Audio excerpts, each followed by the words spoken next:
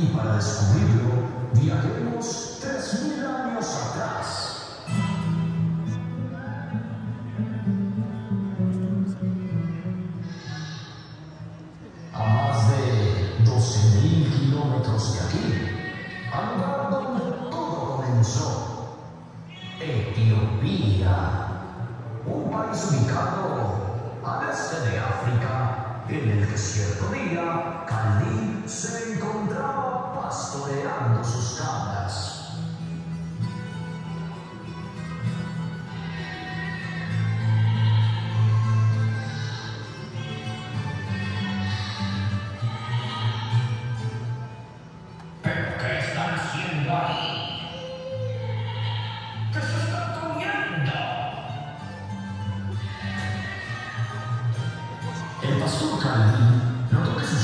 se alimentaban de un fruto rojo que crecía en medio de los arbustos y de repente comenzaron a saltar y a correr por todos lados llenas de energía.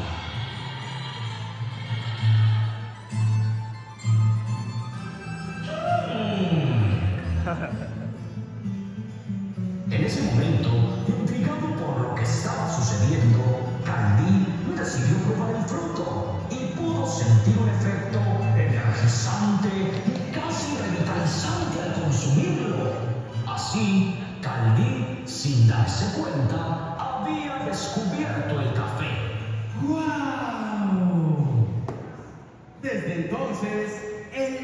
siguió viajando y evolucionando en sus diferentes formas de consumo, hasta llegar a la bebida que todos conocemos y de hecho tomamos hoy en día. Y por eso es que voy a iniciar preparando café. Y lo voy a hacer en un método bastante tradicional, como este el colador de tela, el talego, el sedazo o la media. Pero, ¿por qué le decimos la media? Bueno, en mi casa muchas veces cuando llegaba la visita, mi mamá tenía una costumbre. Resulta que cuando el colador se perdía o no servía porque se rompía, yo recuerdo que mi mamá muchas veces me decía, ¡Ay, hijo!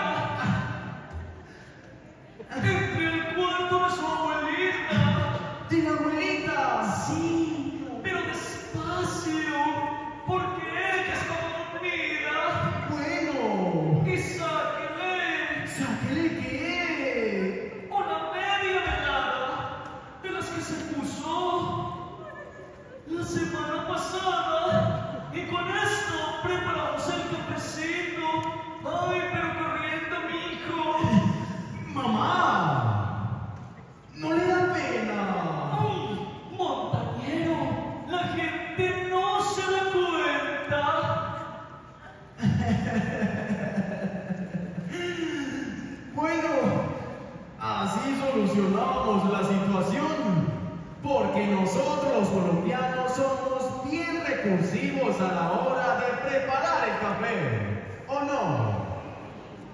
Ustedes también utilizan la media de la abuela. Es por eso que este colador ha pasado de generación en generación y ha hecho parte de nuestra historia. Porque cuando el café llegó a Colombia, a mediados de 1730, no existían formas sofisticadas para su preparación. Por lo cual, este método en especial fue uno de los primeros en ser utilizados a la hora de preparar el café colombiano.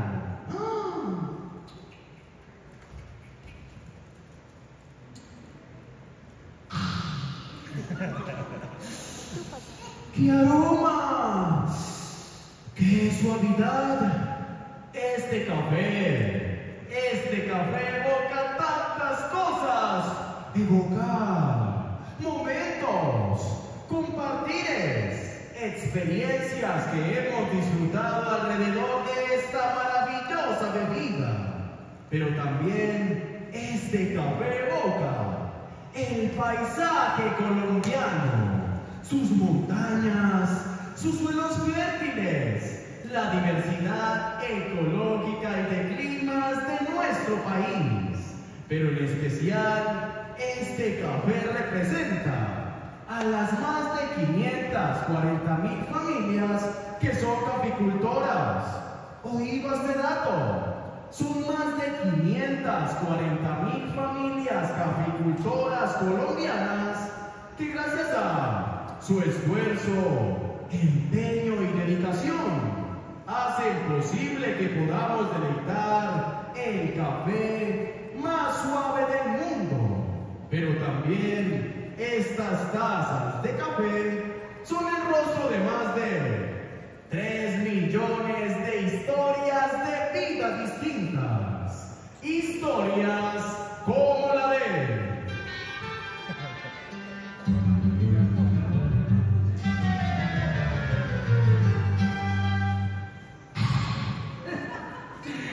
de mi finca, en aquel alto, he bajado el día de hoy a mostrarles el proceso que día a día yo. Espero pues que se antoje y también que nos apoyen consumiendo cafecito, que es bien rico y suavecito. bueno, y dejando a un tanta copla y guachapita, me presento. ¿Cómo les parece que yo, orgullosamente, soy uno de los tantos caficultores de nuestro país y comienzo mi día desde bien temprano en la mañana, preparándome una buena taza de café. ¡Ah! Y lo hago en métodos tan clásicos, oiga, como este, la boca italiana, la cafetera o la greca. Pero es que nosotros los caficultores, para poder obtener tan maravillosa y deliciosa bebida, ¡ah! tenemos que hacer arte. Y es la tierra, el cafetal, el lienzo en el que plasmamos nuestro sello. ¿O no es así, compadre? Porque desde que sembramos la semilla, van a pasar tres años. Óigame, mi gente. Tres años en convertirse en un arbusto que produzca café. Si lo sabían. Tres años. Eso es mucho tiempo, ¿no? Y curiosamente, esta cosecha la recolectamos a través de dos máquinas. Si saben cuáles o no.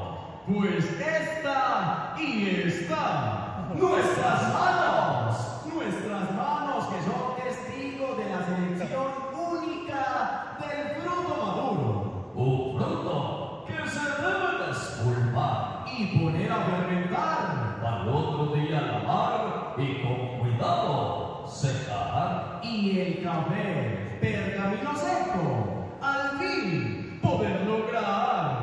Y después de este proceso, continuamos con la venta. Porque allá en las cooperativas, la platica no espera. Eh, Y hablando sobre las cooperativas de caficultores, Cuénteles. Allí nos garantizan la compra del grano a un precio base en todas las regiones de nuestro país y apoyados por una institución tan importante en Colombia. Bueno que lo menciona. Nada más y nada menos que la Federación Nacional de Cafeteros de Colombia. Y hasta aquí llega el trabajo de la mayoría nosotros, los caficultores. Pero este grano sigue su viaje y llegará la trilladora de café. La trilladora tiene como función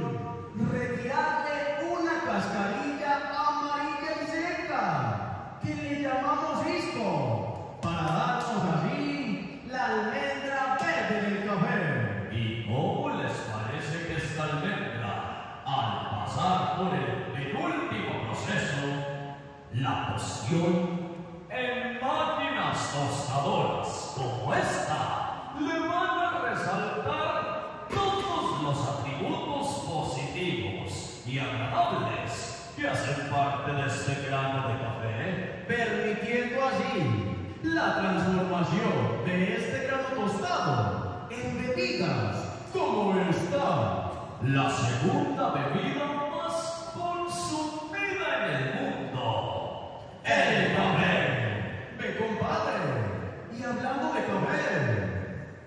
antojé de uno. ¡Ay, qué delicia, cierto! Bueno, pues como hay dos, uno con usted. Pero eso no me hace daño así, compadre. Así de caliente. No, así sin pan. Mejor me lo voy a preparar a la finca. Hasta luego, pues. Hasta luego, pues, don Octavio. Ay, ese muchacho dice que con pan. Óigame, a mí me gusta más con puñuelo. bueno, pero es que yo viendo este café y que huele tan rico, yo sí les quiero preguntar, ¿a quién de ustedes le gustaría tomar café?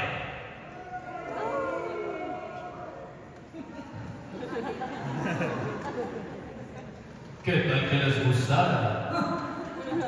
Con ese ánimo, ni agua panela les ofrezco.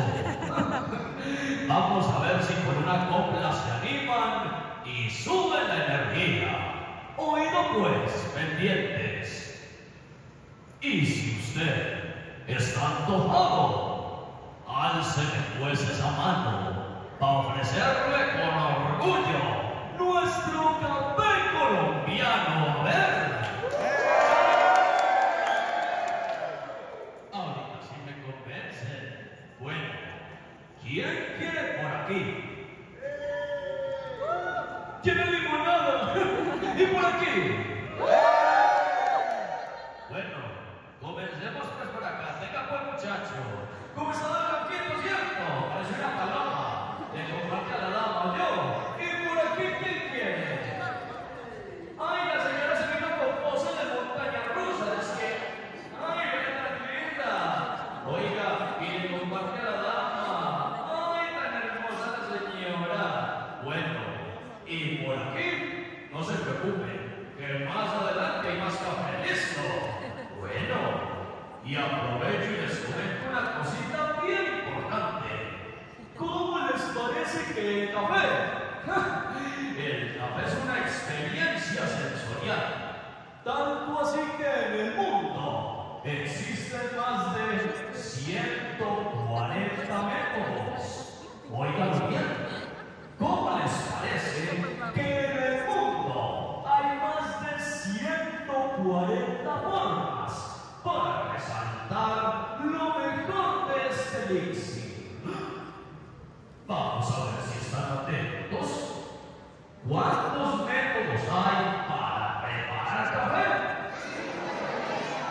Ay, ¿cómo están de atentos? ¿Y cuánto se demora una planta en producir café? ¡Ay, cómo están de atentos! ¿Quieren café? ¡Sí! Más adelante. Porque yo me despido, pero un artista les dejo que con su talento y magia culmina este proceso. Le decimos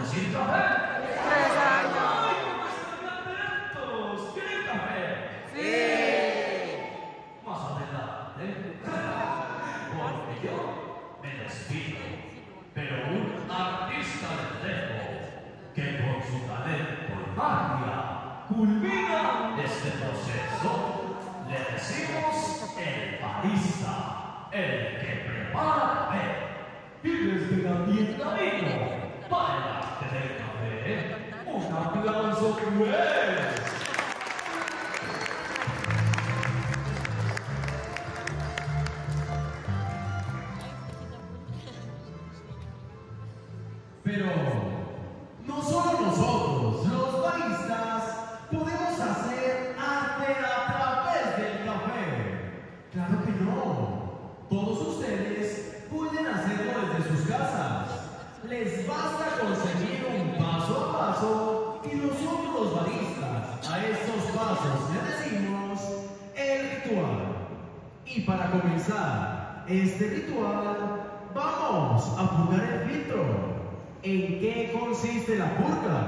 Simplemente agregamos agua caliente, en este caso a nuestro filtro de papel, para eliminarle todo tipo de impurezas o sabores no deseables que nos pueden contaminar la bebida.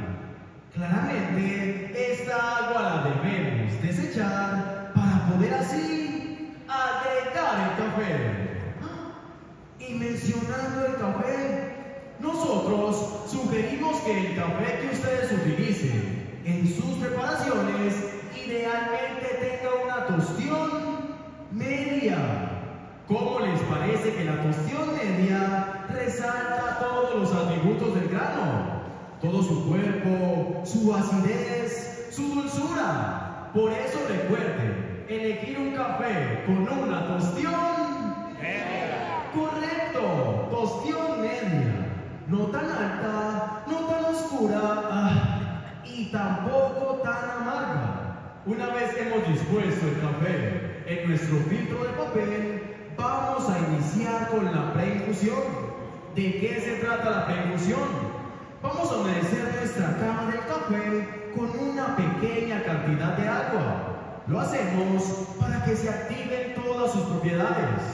Este proceso debe durar alrededor de 20 a 40 segundos y ya podremos iniciar con la preparación de nuestro café. Y continuamos con la molienda. ¿Qué tan fina o qué tan gruesa deberá ser la molienda? Pues esto lo determina el método de preparación que vamos a utilizar. Por ejemplo, si molienda gruesa van a usar es porque prensa francesa deberán preparar. Pero si bien fina, la molienda es moca italiana, deberán tener. Y si bien filtrado quiere su café, molienda media habrá de escoger. Y continuamos con las proporciones.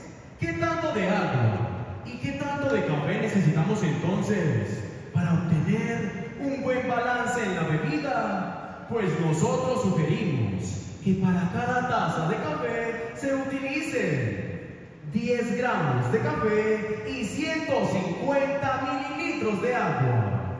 Y para fines prácticos, en casa podemos utilizar estas dos herramientas. Una cuchara sopera nos permite medir entre 8 a 10 gramos de café. Y un pocillo tintero nos permite medir a las 150 mililitros de agua. Entonces, basta con multiplicar estas proporciones por el número de tazas de café que vamos a preparar. Que si nos llegó visita a la casa y son cuatro, entonces cuatro cucharadas de café y cuatro pocillos tinteros con agua. Así de sencillo. Y finalmente, la temperatura del agua. Resulta que la temperatura ideal cuando estamos preparando el café debe estar alrededor o por debajo de los 90 grados centígrados. Eso quiere decir que vamos a utilizar agua hirviendo para preparar el café, ¿sí o no? No. No, muy bien, porque si agregamos agua hirviendo en el café, podríamos llegar a perder algunas de sus mejores propiedades. Entonces, Alejo, ¿cómo obtenemos esta temperatura de 90 grados si no contamos con un termómetro en casa? Muy sencillo. Ponemos a hervir el agua en un recipiente previamente tapado. Y cuando el agua llegue a su punto de ebullición, sencillamente apagamos, destapamos y le dejamos perder calor durante 3 a 4 minutos y ahí tenemos la temperatura ideal. ¿Y cómo vamos a extraer el café? Ustedes ya lo vieron aquí vamos a realizar vertidos de agua de forma circular, generando una turbulencia en el café con el fin de resaltar dos de sus mejores atributos, su dulzura y su acidez. Y para efectos prácticos, hemos preparado este café en un método de filtrado que se llama Chemex. La Chemex nos permite a nosotros obtener tazas suaves, limpias, delicadas y lo mejor de todo, muy aromáticas. Así es. Arturo, estaba pensando que el café, más que una simple bebida, puede llegar a convertirse en un elemento mágico, fantástico. ¿No te parece? Entonces, ¿Qué tal? si hacemos magia,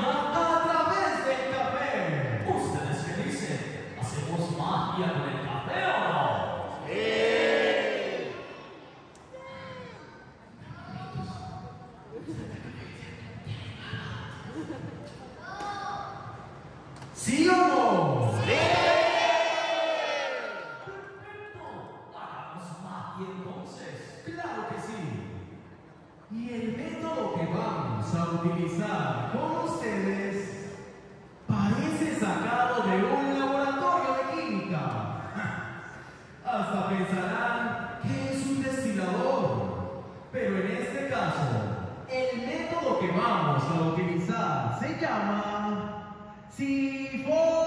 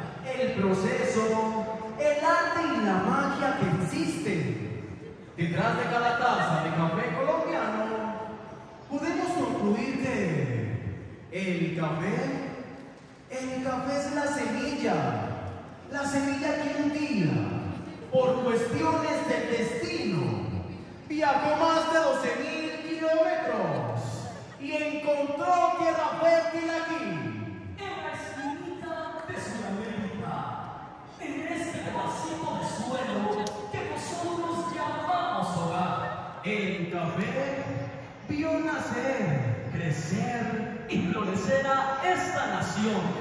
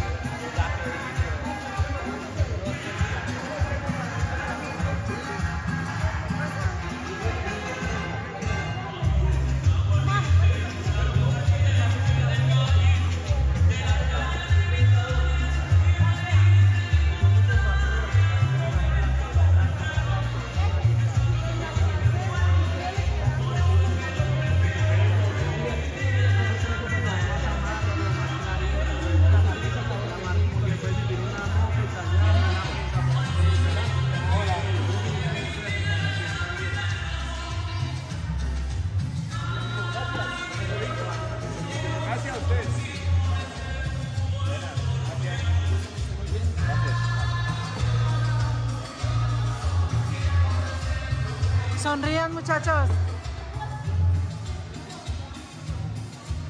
Excelente. Gracias.